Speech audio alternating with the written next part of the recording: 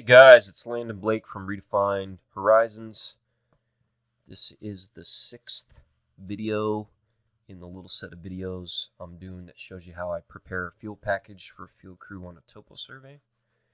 So if you watch video number five, you remember we just got done editing the instructions here in this right hand column. Site access, methods for control, methods for the aerial, and methods for the ground infill. Now, in the instructions for the ground infill topo, I told the crew I need you to collect some spots and, and major break lines in, in a couple of these areas where we have heavy tree canopy, and I want to graphically show the field crews uh, the two or three areas where I think that's going to be critical. So we're going to do that now. So I'm going to zoom in here, and I want a, a little bit different symbol. So I've got uh, circle arrowhead symbols, diamond arrowhead symbols, and square arrowhead symbols. So I'm going to make a one other shape.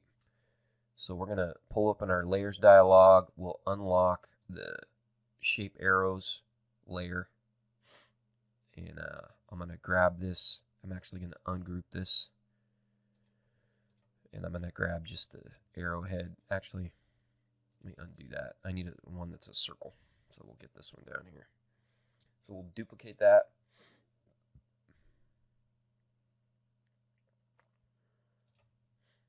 We'll pull it up. Okay, and I'm going to ungroup it because I don't want to change the the text here with this next uh, this next action. Okay, so now I've got just the circle highlighted, not the text, and I'm just going to stretch this into an ellipse. Let's try this. Hold down this. If you hold down the Shift key, it'll center, and I'm just going to make that an ellipse. Now, when you stretch things like that in Inkscape, your stroke and fill will will uh, scale, and that's not what I want. So we need to pull up the fill and stroke dialog and, and shrink that stroke back down. Should be 4 pixels, not that 4.69. Okay, actually, that looks that looks like it's too thick. Maybe it's too. No, just try three. Three is the winner. Three pixels. Okay. All right, and uh, now I'm gonna go ahead and number this. Grab that text, and we'll number this. Uh, let's see. I think we're up to eight. We'll make that 8. And I don't want to use that bright red. So I'm going to change this color here we'll, we'll, of this stroke. We'll pull up the fill dialog, fill and stroke dialog, and uh, we'll enter this color we originally had on the mapping limits that didn't stand out as brightly as I wanted. But it'll work for what we're doing here. Okay. All right, so I know I'm going to need some infill here. I'm going to need some infill here. And we're going to need some infill over here. Okay. And I'm going to number these sequentially. And the reason I do this, even though they're, they're indicating the same step, uh, I'm going to number those sequentially so if the crew's got questions, they can call me and refer to that number. Okay, and then I'm going to just group these together.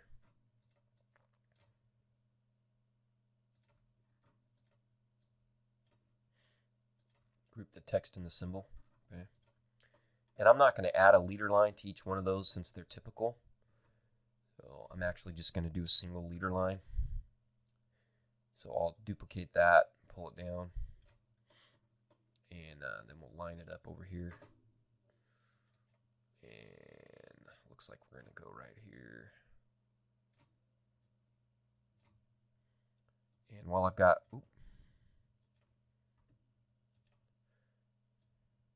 while I've got that highlighted, that's uh, arrowhead shaft or that uh, leader line, we'll go ahead and change that color in the fill and stroke dialog too.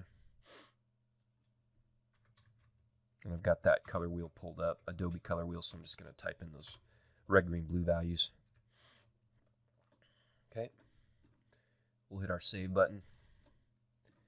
And we need to unlock a couple layers. So I'm going to lock that arrowhead layer now. And we're going to lock the shape bullets. We should be done with that. But I'm going to unlock the uh, shapes layout because I need to copy this box down. So we'll grab this box and this text right here.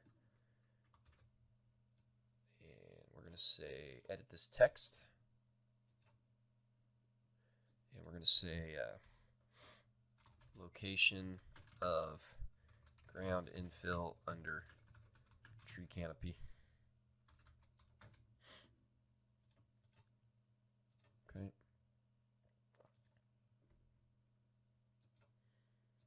Zoom to page, save that. Okay. Then I want to add a note down here because I had a specific request from the client. So I'm going to say uh, at uh, ground infill location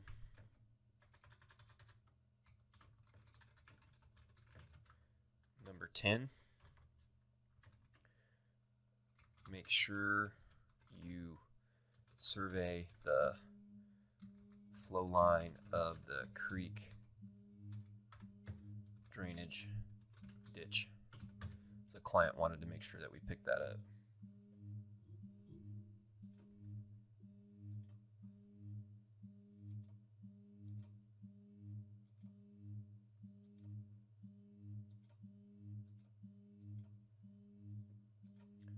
Okay, so that's done.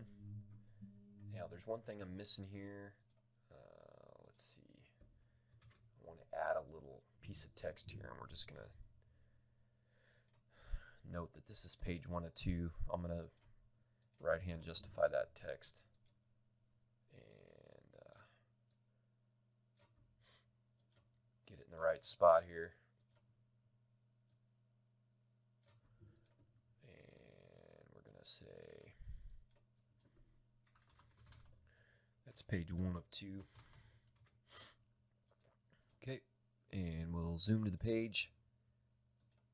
We'll save uh, actually, before we save, we should go in and lock all our layers now that we think we're done. The reason I do that is that way you don't open this file and inadvertently start dragging stuff around. And uh, we're going to save that exhibit as a PDF. Okay. Now we're going to go ahead and close Inkscape. And we're going to open up that PDF just so you can see what it looks like.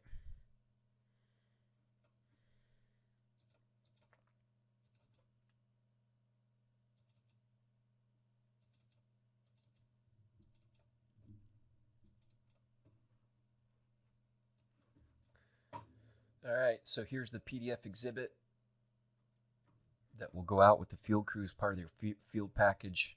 And um, they should have everything they need. Tells them the limits, shows them what type of control to set where, lets them know what locations we're going to need uh, ground infill, and gives them some other instructions. How to access the site, what to set for control, how to do the aerial, what to do for the ground infill. Okay. All right. Appreciate you guys watching the video. Uh, we're going to do another video. That'll be video number seven, where we're going to swap that uh, image out with an oblique and uh, give the field crew just kind of another uh, view of that of the mapping limits for the job there. Okay, so we'll, we'll do that in the next video, and I appreciate you guys watching.